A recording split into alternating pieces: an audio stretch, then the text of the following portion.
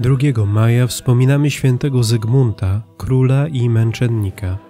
Zygmunt był synem Gundobalda, króla Burgundii. Jeszcze za życia ojca rządził częścią państwa. Był Arianinem. Pod wpływem nauk świętego Awita, biskupa Wien, przeszedł na katolicyzm. Początkowe rządy Zygmunta były nader pomyślne. Trwało to jednak niestety zbyt krótko. Za poduszczeniem swojej drugiej małżonki król dopuścił się zbrodni.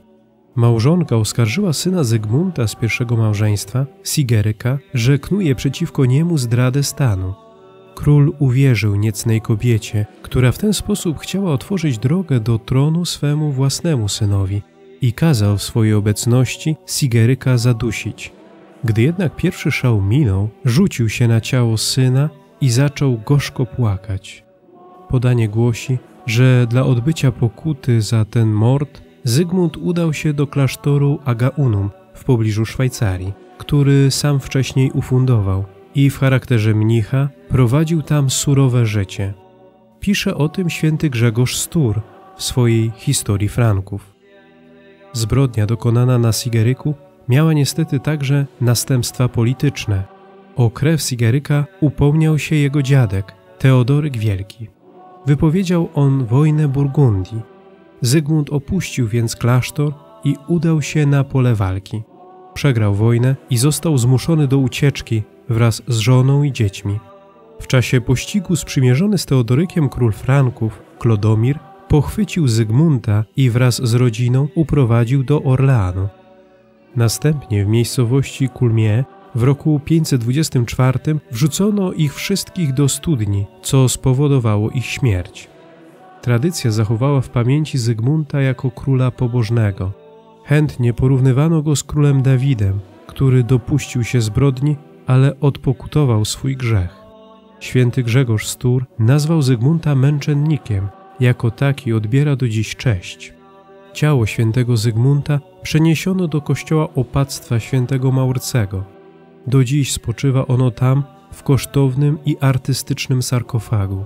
Część relikwii złożono w osobnym relikwiarzu, by można je było wystawiać i nosić w czasie procesji. W wieku XIV i XV święty Zygmunt należał do najpopularniejszych świętych Europy. Szczególną czcią otacza świętego Zygmunta diecezja płocka. W roku 1166 biskup Werner przywiózł do Płocka z Akwizgranu jako dar cesarza Fryderyka I część czaszki świętego Zygmunta. Król polski Kazimierz Wielki zamówił u złotników krakowskich kosztowną hermę, popiersie świętego, w którym umieszczono tę relikwię. Hermę zdobi diadem piastowski z wieku XIII, ozdobiony szafirami, rubinami i perłami. Święty Zygmunt jest patronem miasta Płocka. W tamtejszej katedrze ma osobną kaplicę. Świętego Zygmunta wzywa się jako orędownika podczas malarii oraz przy chorobach na przepuklinę. W ikonografii atrybutem świętego jest studnia, w której został utopiony. Módlmy się. Boże, Ty zaszczyciłeś świętego króla Zygmunta dwiema koronami, doczesną i wieczną, oraz upragnioną palmą męczeństwa, a jego ciało spoczywające w głębi wód wskazałeś wiernym.